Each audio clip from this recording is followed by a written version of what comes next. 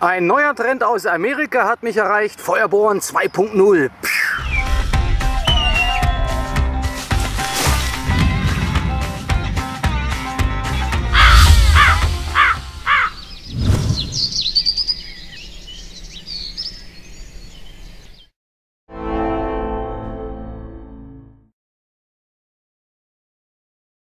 Um was geht es in dem Versuch? Im Prinzip um den Bow Drill mit nur einem kleinen Unterschied. Wir machen Bow Drill ohne einen Bogen. Vielleicht weiß einer von euch, wofür diese Technik sinnvoll sein soll. Ich wäre dafür dankbar, wenn mir das jemand unten in die Kommentare schreiben könnte. Aber es ist halt einfach wie so oft. Ich kann der Versuchung nicht widerstehen, am Ganzen einfach mal einen Versuch abzustatten. so, Anfang tut es wie immer. Ich habe mir hier einen Haselnuss-Ast geholt, einen trockenen. Macht hier vorne nur so eine grobe Spitze. So schön müsste das eigentlich immer gar nicht sein. Das ist alles ein bisschen überbewertet immer.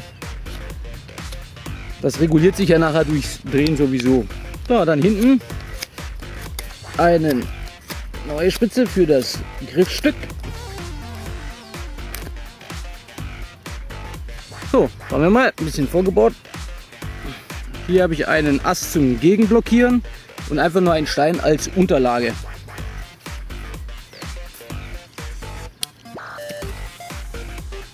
Hier habe ich meinen Mund, äh, mein, meinen Handgriff mitgebracht. Ist auch schon ein bisschen alt und ranzig, aber nun gut. Und die Schnur. Ja, prinzipiell.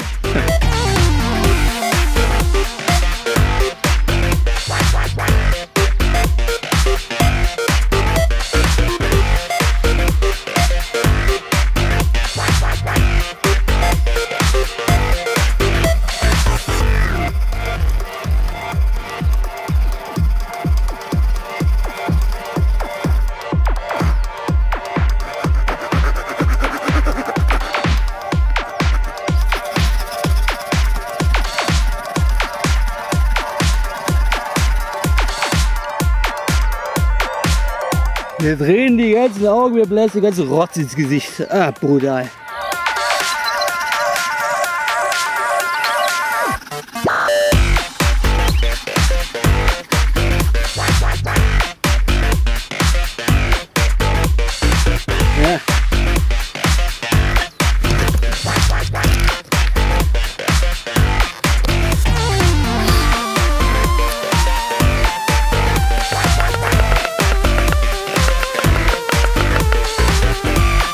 Ich habe mir also gerade die Aufnahmen zu diesem Boat Drill angeschaut und möchte euch wirklich mit auf den Weg geben, macht das unter gar keinen Umständen nach.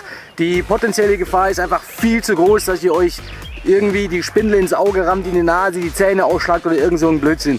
Es ist zwar ja, eine interessante Idee, aber unter gar keinen Umständen zu empfehlen.